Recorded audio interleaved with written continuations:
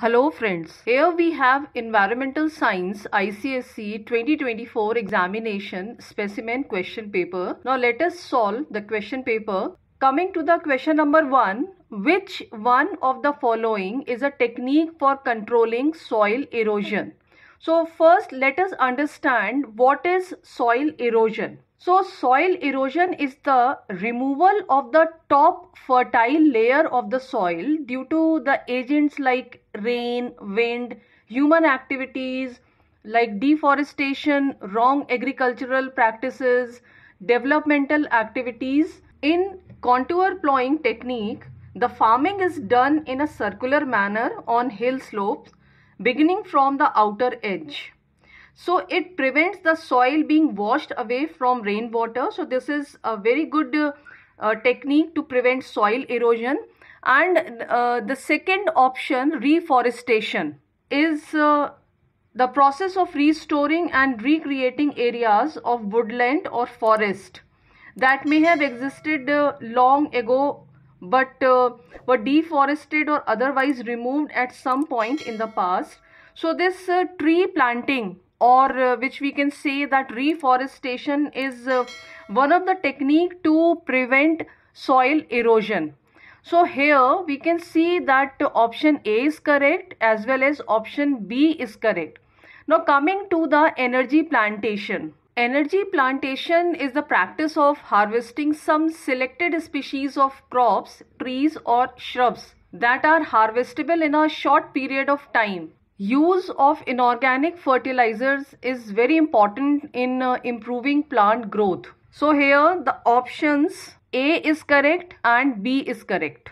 So here we can consider option A and B both. So these are the techniques for controlling soil erosion. Question number 2 the device which reduces air pollution from vehicle is and the correct option is catalytic converter. So catalytic converter is a device that uses a catalyst to convert three harmful compounds in car exhaust into harmless compounds. The three harmful compounds are hydrocarbons, carbon monoxide and nitrogen oxide. So correct option is catalytic converter. Question number 3. The objective of community forestry is and the answer is planting of trees by villagers on common lands and share the products. So, community forestry programs aim to provide for the entire community rather than for an individual. So, in these programs, the government has the responsibility of providing seeds, seedlings, and fertilizers.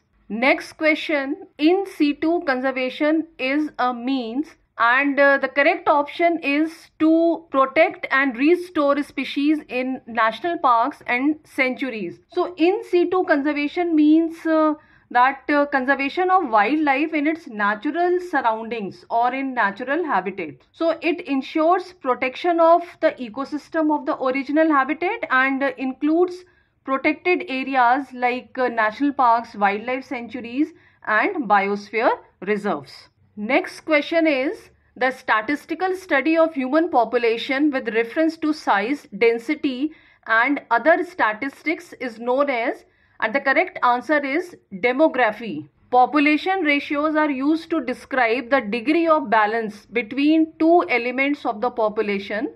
Uh, for example, males versus females, children versus women of reproductive age and so on. Census includes the total process of collecting, compiling, analyzing, evaluating, publishing the statistical data regarding the population and housing and their geographical location.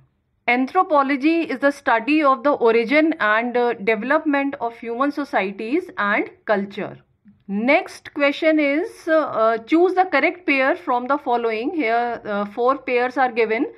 Bharat Sangh and Gajendra Singh. Ralegaon Siddhi Anna Hazare. Chipko Movement Durga Bhabi and Sukho Majiri Anna Hazare. So the correct sequence is Ralegaon Siddhi and Anna Hazare option B. Correct pair for Tarun Bharat Sangh is Rajendra Singh.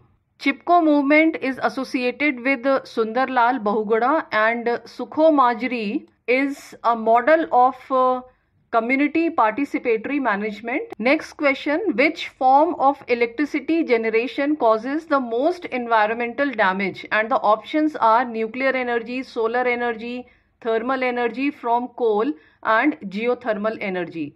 And the correct answer is thermal energy from coal. So, coal is by far the worst emitter, followed by natural gas with solar, wind, and nuclear all low carbon. Hydropower, biomass, geothermal, and ocean power may generally be low carbon. So we can say that fossil fuels like coal, oil, they do substantially more harm than renewable energy sources. Next question is the organisms responsible for composting and breaking down of dead organic matter are and the options are earthworms, microorganisms, scavengers, and tapeworms. So the correct answer is microorganisms. Composting is a technique of converting household waste or agricultural waste into compost. So it is a waste disposal technique in which uh, uh, biodegradable waste is decomposed by microorganisms and converted into manure. In the next question, there is a figure given alongside and which refers to the scheme of and the options are economic development, social life development, environmental conservation and sustainable development. Let us see the diagram given here.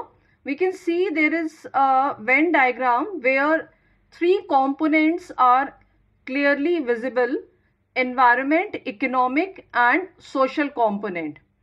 So the sustainable development has three dimensions or uh, components ecological that is environment economical and social. So sustainable development is the way to reach development without causing any harm or damage to the environment. Option d is correct sustainable development. So here it is a scheme of sustainable development. Next question based on assertion and reason. Now there is an assertion three quarters of the world population is inadequately fed so there is hunger and malnutrition in the developing countries. And the reason for this assertion the factors of uh, food shortage in the developing countries are uh, poverty unsuccessful agriculture and unequal distribution in food supply so we have to choose the correct answer where both are correct assertion and reason or both are incorrect or one is correct or one is incorrect. Assertion statement says that three quarters of the world population is inadequately fed and majority of these live in the developing countries. This uh, statement is correct and it is obvious that there is a hunger and malnutrition and uh, the reason are the same which is given in the reason statement. So both are true. Option D. In the next question, two statements are given. First is the multinational companies can be controlled by NGOs to take responsibility of the environmental issues and second statement NGOs are profitable organizations. Statement B says that NGOs are profitable organizations, which is uh, wrong because NGOs are non-profit uh, organization and uh, filling the gap where governments will not or cannot function. So NGOs have played a major role in pushing for sustainable development at the international level. So the statement B is incorrect let us see the statement A. The multinational companies can be controlled by NGOs to take responsibility of the environmental issues. Now here they are talking about the environmental issues. So the multinational brands, they have been actually susceptible. They are very prone to pressure from activists and taking responsibility for environmental and social affairs. So some NGOs typically take up causes related to the environment such as climate change, air pollution, deforestation, ozone layer depletion, waste management, biodiversity and uh, land use, energy conservation and other matters. So we can say that uh, statement A is correct because multinational companies can be controlled by to some extent by NGOs to take responsibilities, particularly of the environmental issues. Option B, statement A is correct and B is incorrect. Next question, match column 1 with column 2 and uh, choose the correct option from those given below. So here are two columns. In column 1, Montreal Protocol CITES GEF and Kyoto Protocol is given. So we have to match with column 2. So Montreal Protocol is correctly matched with control of CFCs to prevent ozone depletion. That is D. CITES is correctly matched with conservation of endangered species. GEF matched with focuses on international waters and its diversion and Kyoto Protocol is correctly matched with check on greenhouse gases emission. Option C is correct. Now in the next question the following questions question 13 to question 16 are based on the figure given below. Answer these questions by choosing the correct option. So you can see here is a figure shows a structure from which a fuel is generated. So first we have to name this structure and the options the correct option is biogas. So here we can see the biogas plant which has a dome like structure built with bricks. A slurry of uh, cow dung and water is made in the mixing tank from where it is fed into the digester. Here you can see the digester and this digester is a sealed chamber in which there is no oxygen. That is anaerobic microorganisms that do not require oxygen decompose or break down complex compound of the cow dung slurry. So it takes days for the decomposition process to be complete and generate gases. The biogas is stored in the gas tank above the digester here you can see the gas tank where the biogas is stored and from which they are drawn through pipes for use. Biogas is a mixture of methane, carbon dioxide, hydrogen and hydrogen sulfide. The major constituent of biogas is methane. Biogas is produced by the anaerobic degradation of animal waste like cow dung, plant waste, in the presence of water. Now answer the question uh, and uh, this uh, the correct answer here is the biogas. And uh, in the next question uh, what is the main component of this gas? That is biogas. This is that is generated from the above structure. And the correct answer is methane. Next question how is this fuel obtained? It is obtained by and the correct answer is option B by decomposition of agricultural waste, cow dung and leaves. Question number 16. How is the manure produced utilized? Here you can see that manure is also produced. So it is utilized and the correct uh, answer is option D. It is used as fertilizer to make the soil rich with nutrients.